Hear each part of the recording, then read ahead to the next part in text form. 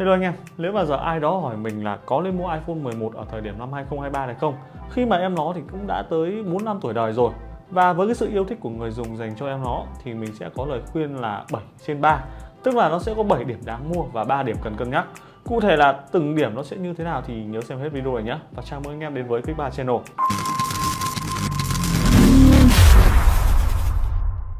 À, đầu tiên thì phải nói đến đó chính là cái giá của iPhone 11 tầm này ấy, đang rất dễ tiếp cận ở thời điểm hiện tại. Khi mà vừa rồi thì iPhone 15 mới mở bán thì giá của iPhone 11 cũng có sự giảm nhẹ.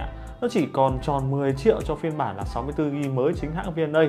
Và nếu mà các bạn lựa chọn hàng mua cũ thì cũng chỉ là hơn 7 triệu một chút thôi cho phiên bản là 64GB hàng Lightroom 99%. Cái mức giá này thì theo như mình thấy thì nó khá là dễ tiếp cận với nhiều người từ sinh viên, học sinh hay là với những người mà có thu nhập trung bình mà muốn kiếm một chiếc iPhone sử dụng ổn định lâu dài trong vòng khoảng tầm từ 2 đến 3 năm tới. Và chiếc iPhone 11 này nó lại đáp ứng được những cái điều đó. Cũng là cái điểm đáng mua thứ hai của em nó, đó chính là phần mềm nó được tối ưu hóa rất tốt. Theo như lộ trình cập nhật của Apple thì có thể là tới iOS 18 vào năm tới là có thể là sẽ không được cập nhật nữa. Nhưng mà dù như thế thì tính ra chiếc iPhone 11 này nó cũng được cập nhật phần mềm lên tới là 5 năm rồi. Con số mà chỉ về sau này thì các hãng Android trừ Google thì cũng mới bổ sung được lên là 75. Và ở thời điểm hiện tại thì là dù iOS nó vẫn có những cái lỗi vặt và Apple đã phải cập nhật liên tục để mà vá lỗi. Như là trên bản iOS 17.0.1 vừa rồi ấy thì à, mình có trải nghiệm thông thường trên con iPhone 11 này thôi. Nó thật là nó cũng chả gặp lỗi gì cả. À, pin nó cũng không bị hao pin nhiều lắm. Và đó cũng là cái điểm cực kỳ đáng giá trên các mẫu điện thoại lâu đời của Apple kể cả như là iPhone X hay là iPhone 8 Plus. Đến với cái điểm thứ ba đó chính là cái con chip A13 nó vẫn đang rất là đủ dùng. Con chip A13 được đánh giá là con chip thành công của Apple đặc biệt là trên dòng iPhone 11 này. Ờ, uh, A13 Bionic là con chip cuối cùng của Apple chạy trên tiến trình là 7 nanomet và được thêm đuôi là cộng vào sau giống như là Intel bên mảng PC vậy. Và do là con chip thứ hai chạy trên tiến trình 7 nanomet nên là đã được tối ưu và khắc phục được các lỗi dễ gặp như là nhiệt cao và thiếu ổn định. Do đó thì cái việc mà trang bị con chip này giúp iPhone 11 tới giờ vẫn có hiệu năng đủ mạnh để mà đáp ứng mọi nhu cầu sử dụng thông thường và kể cả là chơi game cũng như là chỉnh sửa hình ảnh video. Chưa kể nữa là con chip này nó còn được bổ sung khả năng xử lý hình ảnh giúp tăng cường điểm mạnh tiếp theo của iPhone 11 đó chính là camera. À, camera của con này nó vẫn còn quá là ngon iPhone 11 là chiếc iPhone rẻ nhất có camera góc siêu rộng phụ trợ cho camera chính. Tất nhiên là cả hai camera này nó vẫn chỉ có độ phân giải huyền thoại của Apple là 12 megapixel thôi. Nhưng mà cái khả năng quay chụp của cả cụm camera này cho tới thời điểm hiện tại nó vẫn còn rất đáng kinh ngạc. Với camera chính thì chụp ở điều kiện đủ sáng thì hình ảnh cho ra vẫn có độ chi tiết cao, màu sắc chân thực từ lá cây, nền trời hay là từng ngôi nhà từ phía xa. À, còn ở điều kiện thiếu sáng thì iPhone 11 nó vẫn làm tốt bởi vì nó cũng đang được trang bị tính năng chụp đêm cho một cái khả năng thu sáng và xử lý hình ảnh ở mức ổn ảnh cho ra thì nó ít gặp hiện tượng noi hay là tránh sáng. Chi tiết thì cũng gọi là tái tạo khá là tốt. Tất nhiên thì chụp đêm thế hệ đầu này thì của Apple nó không quá là ngon, nhưng mà có hơn không cũng gọi là ổn rồi. Còn khi mà chụp góc siêu rộng thì ảnh cho ra cũng vẫn giữ được cái tỷ lệ tương đối là chuẩn. Các phần ảnh ở viền thì ít bị bóp méo. Ánh sáng cũng như là màu sắc thu về thì không khác với là chụp bằng camera chính là mấy. Ngoài ra thì ta vẫn có thể chụp ảnh xóa phông, chụp ảnh chân dung với em iPhone 11 này nữa. À, về quay video thì tất nhiên rồi, iPhone 11 nó vẫn đang làm tốt cái vai trò của Apple nổi tiếng kể cả từ là đời iPhone X tới nay. Thế nên nếu mà mua iPhone 11 về chụp ảnh sống ảo hay là quay video TikTok các thứ thì mình thấy nó vẫn còn ngon chán.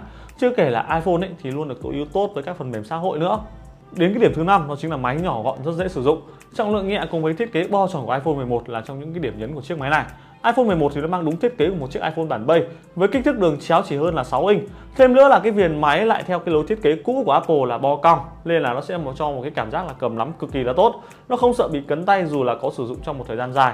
Và với những người mà có bàn tay nhỏ như là hội chị em ấy, thì chiếc máy này lại cực kỳ thích hợp để mà sử dụng nhiều màu sắc đẹp để mà lựa chọn, thì cái phần này đáng lẽ ra là mình gộp chung vào cái phần thiết kế nhưng mà sau khi mà suy đi tính lại thì mình lại thấy nó là một cái điểm là, lên là một cái điểm riêng để mà mình phân tích cho mà nghe nhá. Thì chắc chắn là nhiều anh em cũng biết là iPhone 11 ấy là chiếc điện thoại được bán ra nhiều nhất trên toàn cầu. Và tới thời điểm này thì cũng là phải gần khoảng tầm là 250 triệu máy tất cả rồi. Và theo các thống kê thì đại đa số đối tượng sử dụng của iPhone 11 nó lại là chị em phụ nữ. Và hệ màu của iPhone 11 thì lại trải dài từ xanh min, vàng, đen trắng, tím và đỏ. Tức là đa số màu ở đấy nó đều thuộc hệ màu yêu thích của các chị em phụ nữ. Tức là chỉ thiếu mỗi màu hồng mà thôi. Thế nên là cái việc mà đa dạng về màu sắc như thế này thì mình thấy là đây là một cái điểm rất là đáng mua đối với dòng iPhone 11. Qua đến cái điểm thứ bảy đó chính là thời lượng pin của máy khá là trâu.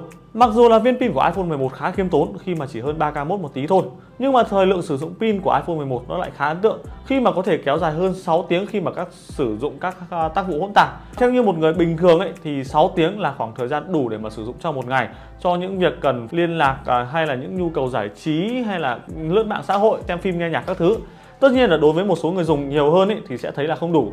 Nhưng mà ở đây thì mình sẽ đang nói về phần đông nhá. Tức là uh, những người mà cân đối giữa việc làm việc giải trí và các phần khác của cuộc sống. Và đó sẽ là 7 điểm đáng mua còn 3 điểm đáng cân nhắc sẽ là đầu tiên là màn hình của máy nó sẽ không thực sự là tốt lắm À, không như hai người đàn anh Pro và Pro Max thì iPhone 11 nó lại chỉ được trang bị một cái tấm nền là Liquid Retina IPS LCD với cái độ phân giải chỉ dừng là HD cộng mà thôi. Với những thông số khiêm tốn như thế này thì lại khả năng hiển thị của iPhone 11 nó sẽ kém hơn rất nhiều mẫu máy khác, đặc biệt là những mẫu máy đời mới trong cùng tầm giá là 7 đến 10 triệu hiện nay. Với những ai mà có yêu cầu cao hơn về phần màn hình thì iPhone 11 chắc chắn là sẽ không đáp ứng đủ mà phải cân nhắc sang những lựa chọn khác tốt hơn rồi. À mà một cái điều nữa là màn hình này tất nhiên nó vẫn sẽ là hạn chế ở 60Hz thôi nhá. À, cái điều thứ hai đó chính là thiết kế của nó nó bắt đầu hơi lỗi thời. À, với cái tay thỏ chiếm một phần lớn trên phần màn hình 6.1 inch này thì nhiều người sẽ thấy khó chịu với nó bởi vì là nó đang chiếm một cái khoảng không không hề nhỏ trong khi mà sử dụng. Đặc biệt là rất khó chịu khi mà xem phim full màn hình. Thêm nữa một điều là cái việc mà bo cong cạnh như thế này thì nó sẽ cho một cái cảm giác cầm nắm gọi là tốt hơn đó. Nhưng mà nó lại đang là lỗi thời hơn so với một cái thiết kế vuông vức ở các mẫu máy đời mới. Nó sẽ không phù hợp với nhiều người dùng ở hiện tại. À, vì nhìn nó là có vẻ là hơi cổ lỗ quá ấy nhìn là biết iPhone 11 thôi đến với cái điểm thứ ba là con máy này ấy, nó sẽ không dành cho gamer. À, con chip A13 thì nó vẫn còn đủ mạnh để mà chơi game nhưng mà cái chiếc iPhone 11 này nó lại không dành cho ai chơi game nhiều đặc biệt là game nặng. À, dù là con chip này nó vẫn có thể chiến ổn định gọi là ổn định thôi nhưng mà cái việc là màn hình của nó nhỏ như thế này và pin thì không phải là quá trâu và cũng sạc của nó cũng chỉ dừng ở 18W thì những cái điểm này nó không hoàn toàn là đủ tiêu chí đáp ứng được cho những ai mà có nhu cầu chơi game cả ngày rồi cái cảnh chơi game được một lúc xong rồi lại phải sạc mới chơi tiếp được thì nó sẽ khá là khó chịu. Còn vừa cắm sạc vừa chơi thì tất nhiên là không lên rồi không phải ai cũng dám. Nó lại lổ như là con à, Galaxy Note 7 thì đúng là khóc luôn. Và đó sẽ là 7 điểm đáng mua cũng như là 3 điểm đáng cân nhắc đối với iPhone 11 vào thời điểm 2023 này. Ngay sau khi mà iPhone 15 đã được mở bán chưa lâu. Tất nhiên thì đây cũng là ý kiến cá nhân của mình tổng hợp lại thôi. Có thể là sẽ thiếu một chút hoặc là sai ở đâu Thì anh em cứ comment ở phía bên dưới nhá. À, Mình thấy anh em chửi nhiều quá rồi. Một là ngọng hai là chưa đủ kiến thức nhưng mà thôi ờ, chửi thì còn ờ, để mà học hỏi còn đối với mình thì 7 trên 3 vừa rồi là cũng vừa tròn con số 10 trên quan điểm cá nhân của mình thì em nó nó vẫn rất là đáng mua và không phải là tự dưng em nó giờ vẫn được nhiều người quan tâm tới thế hơn cả là dòng iPhone 12 nữa cơ À, nếu mà có điều kiện chắc thì đợt tới mình cũng kiếm thêm một con iPhone 11 là máy phụ và để đủ điều kiện đó thì mình phải làm thêm video khác để cho anh em xem thôi. À, hẹn gặp lại anh em ở các video tiếp theo nhé. Bye bye.